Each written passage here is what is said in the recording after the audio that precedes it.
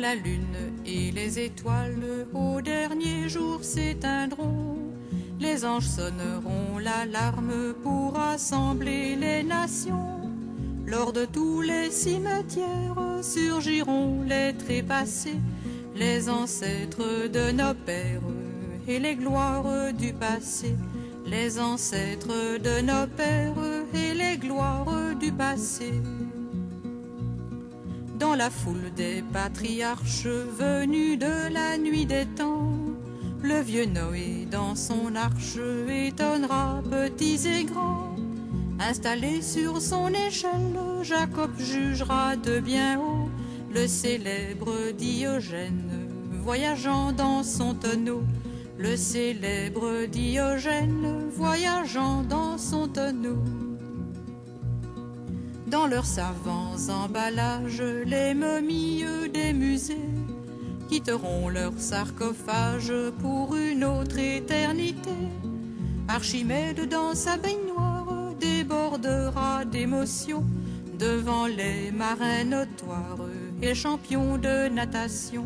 Devant les marins notoires et les champions de natation.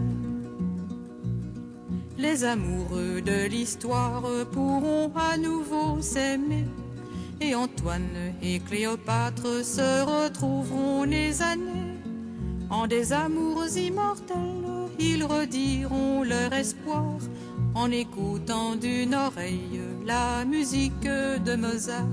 En écoutant d'une oreille la musique de Mozart.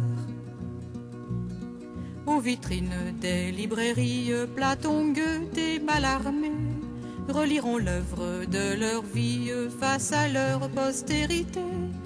Charles Quint et Charlemagne visiteront à vélo le vieux champ de bataille et le lion de Waterloo. Le vieux champ de bataille et le lion de Waterloo. Vélasquez et Michel-Ange de loin se reconnaîtront et pleins d'une joie sans mélange dessineront l'homme du Cro-Magnon pour accomplir leur béat et nourrir les affamés. Les petits scouts de l'Alaska vendront des chocolats glacés. Les petits scouts de l'Alaska vendront des chocolats glacés. Les reporters photographes guetteront le cheval Bayard et le précieux bathyscaphe du grand professeur Picard. Le bienheureux Dominique et Saint François retrouvés boiront la bénédictine pour fêter leur amitié.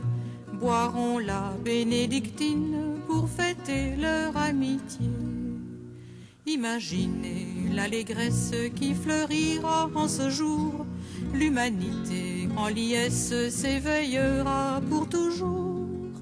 Lors les élus de la terre entreront dans le pays que Dieu promit à leur père pour renaître à la vraie vie.